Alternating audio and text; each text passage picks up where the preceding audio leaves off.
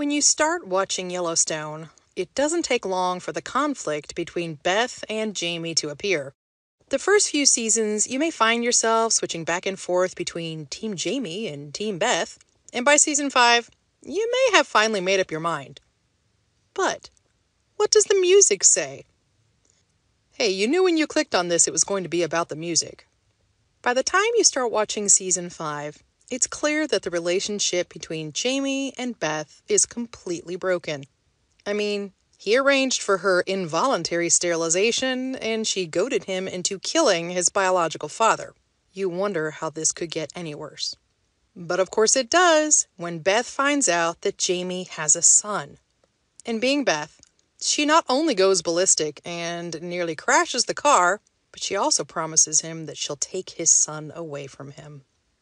I was ready to chalk this up to just another Beth and Jamie moment until I heard the music underscoring the scene. Up to this point, the score is fairly typical, with some ominous strings underscoring the tension. But after her threat, there is something completely different.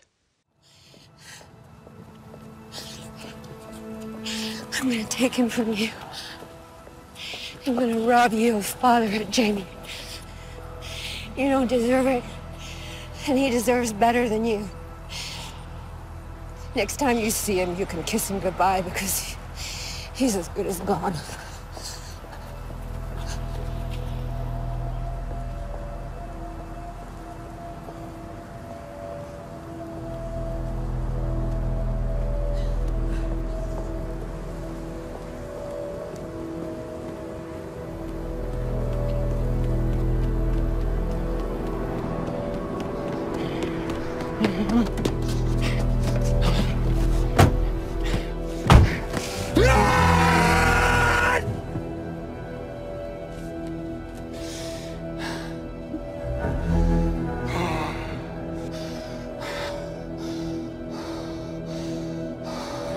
All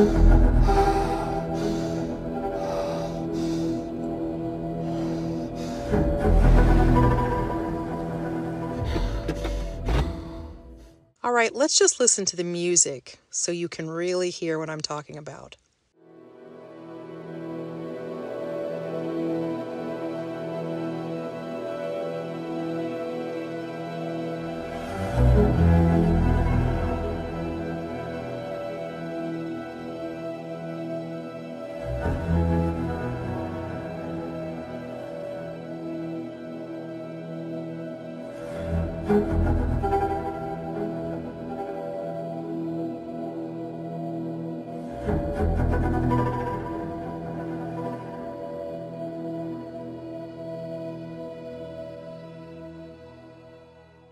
That dissonance bouncing cello effect is unlike anything we've heard up to this point, so it really stood out.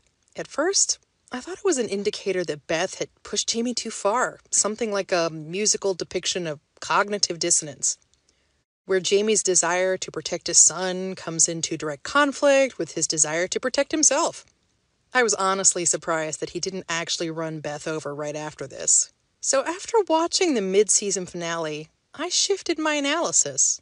In the mid season finale, that dissonant, bouncing cello effect makes a reprise. Beth has confronted Jamie after the whole impeachment thing, and he basically laughed in her face and called her naive. And so she goes home and suggests to her father that maybe it's time to have Jamie taken out. Meanwhile, Jamie is telling Sarah that maybe it's time to have Beth taken out. This is some pretty grim stuff on both sides. So, guess where the dissonant cello comes in? It doesn't come in when Beth suggests to her father that it may be time to send Jamie to the train station. There is a place our enemies go and nobody ever knows they went, then they will never come back.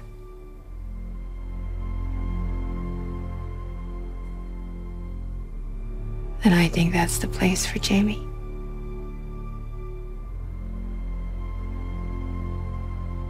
What do you think, Daddy?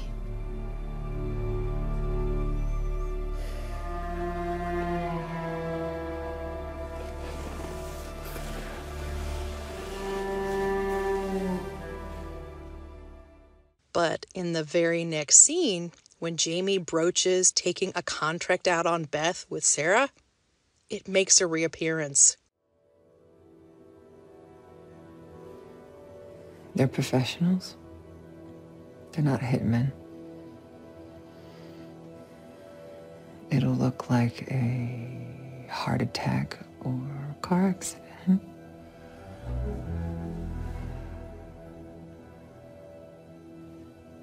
Perhaps I could uh, meet with them and see how they would handle this. No, Jamie, you don't want to do that. You tell me what you want, and I will meet with them. See if you're gonna go after her, you just might.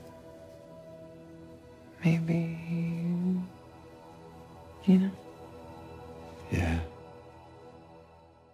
Find it interesting that this dissonant sound only seems to be associated with Jamie's desire to do harm to Beth.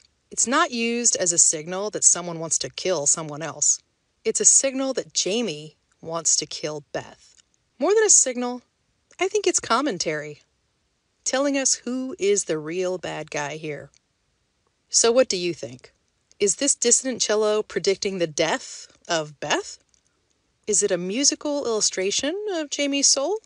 I guess we'll find out when the season picks up again. Well, thanks for listening. Talk to you later.